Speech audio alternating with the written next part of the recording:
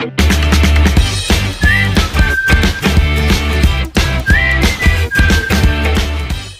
everyone, I am Shivam Pasari and welcome to Ace In Academy. So as you can see from the title of this video, in this video we'll solve another question on the topic of geometry and the question is as follows. A circle is inscribed in a rhombus whose diagonals are 12 and 16. Find the ratio of the area of the rhombus to the area of the circle. So this was our question on the topic of geometry and I would like you to try this question first by yourself and then come to this video for the solution. I hope that I've tried the question and you've got the solution and if you didn't then let's check the solution. So according to our given question, we are given a rhombus whose lengths of diagonal are 12 and 16.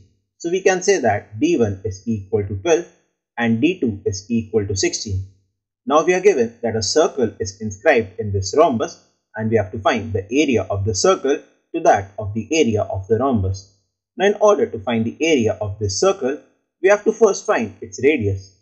Now, the formula for the in radius of any rhombus is equal to d1 into d2 by 4s, where d1 and d2 are the diagonals and s is the side of the rhombus. In order to find the side of the rhombus, we have another formula that is s square is equal to d1 by 2 whole square plus d2 by 2 whole square.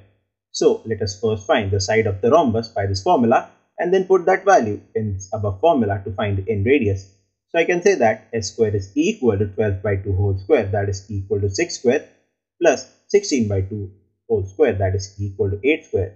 So I've got s square as 36 plus 64 which is equal to 100 or I can say that the side of the rhombus is equal to 10. We have got the side length of the rhombus as 10 so I can say that in radius is equal to 12 into 16 divided by 4 into 10. Upon calculation this value will come as 24 by 5.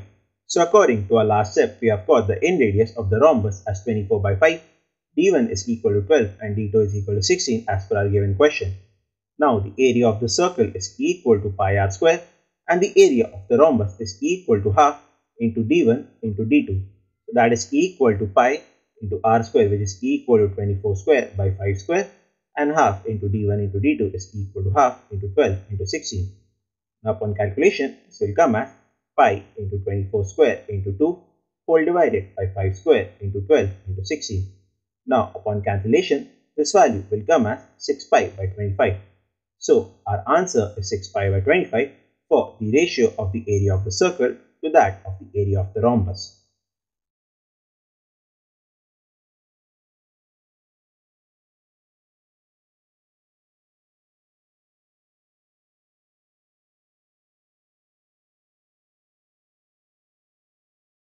Was all for this video and I hope that you understood all the topics covered in this video.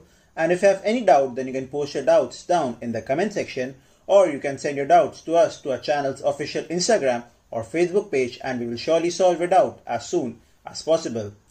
Or you can go to the official website of Ace In Academy and you can send your doubts to us from there and all the links are provided down in the description. And if you did like the video then please hit the like button and subscribe to the channel Ace In Academy. Thank